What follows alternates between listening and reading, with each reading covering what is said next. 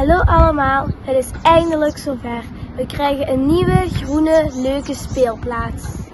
Dit is ons plan. Zo gaat het eruit zien. Dus kijk nog maar eens goed naar onze oude speelplaats, want alles gaat veranderen.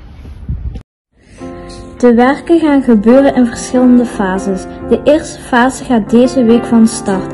We starten met de speelplaats van de bovenbouw. De speelplaats van de onderbouw blijft voorlopig zoals hij is.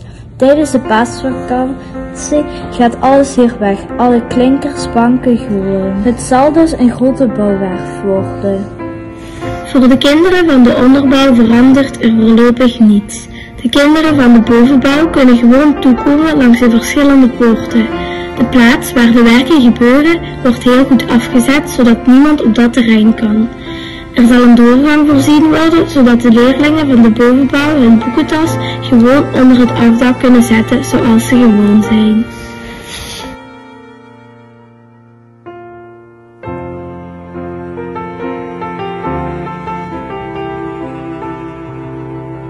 Tijdens de speeltijden spelen de kinderen van de bovenbouw op het voetbalveld en op de speelplaats van de onderbouw.